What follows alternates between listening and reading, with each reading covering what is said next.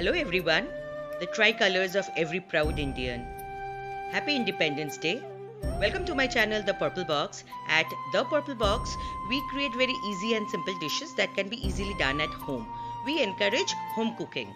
Like this one, a very simple and easy donut with the hint of our pride, the tricolors. Let's quickly check out the ingredients. I will give you a list of the ingredients in the description section and also at the end of the video. Some maida or all-purpose flour, salt, sugar and some dry yeast. It's easily available in the market these days and some white chocolate compound. The tricolors food colors green, white and orange. These are two optional items for the dough. Milk and oil. You can use them or avoid them. Otherwise you will be needing oil for frying. Now we will be taking some lukewarm water and on that we will be adding the portion of sugar. If you like it sweeter you can add a bit more sugar, salt and the dry yeast.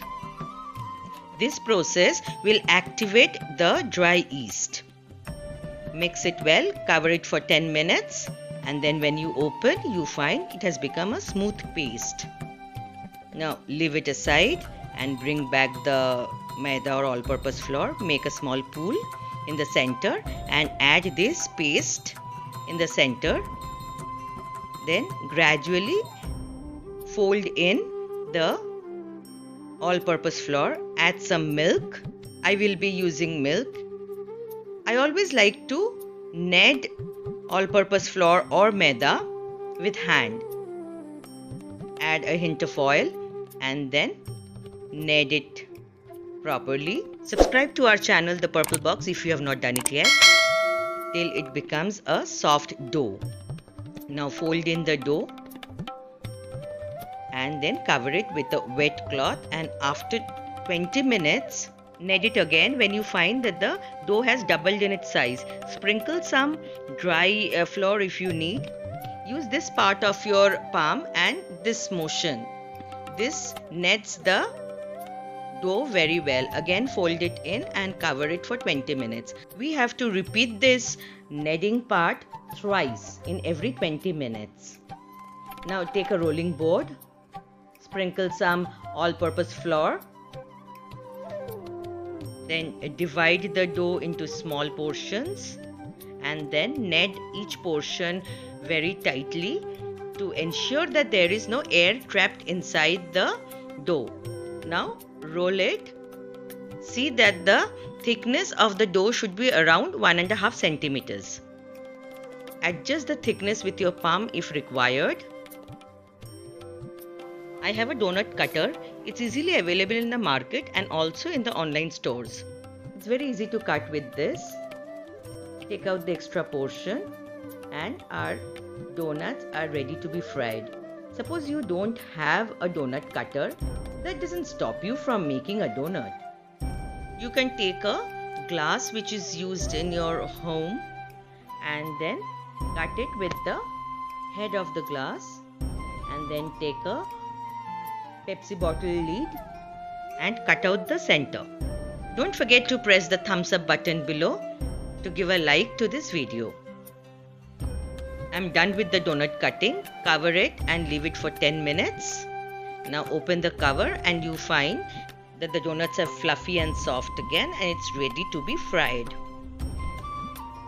Now uh, take oil in a saucepan, check out the heat and then Gradually dip the donuts with a spatula so that it doesn't lose its shape.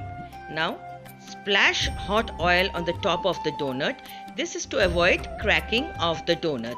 As the oil is quite hot, so the temperature above and below might bring cracks to the donuts. Now keep turning them so that they are fried equally from both the sides. When they turn a bit darker in color, they are ready to be taken out.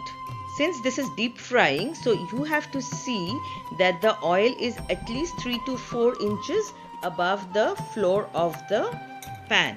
Donut frying is done. Now to the next chapter. heat water in a pan and place a bowl which is more than the size of the pan rim to create a double boiler and now cut small pieces of the white chocolate and allow it to heat in this double boiler. It will take around 10 minutes for the chocolate to melt. Now take it out in three portions, two outside and one in the pan. Then add the white color or any color, mix it well. Take a donut and dip one side of the donut in the hot chocolate and drip out the extra portion. Our donut is ready. This is some extra add-ons. I had some golden sugar balls and I am adding it to my white donuts. Similarly, you repeat the process with the orange color and the green color. As discussed earlier, I am giving you a list of the ingredients. You take a screenshot of this so that you can share it with your loved ones or refer to it later. And our lovely tricolor donuts are ready. Put it in the refrigerator for half an hour then it's ready to be served. Try it out this Independence Day and let me know in the comment section how your family and friends liked it. Till then, bye.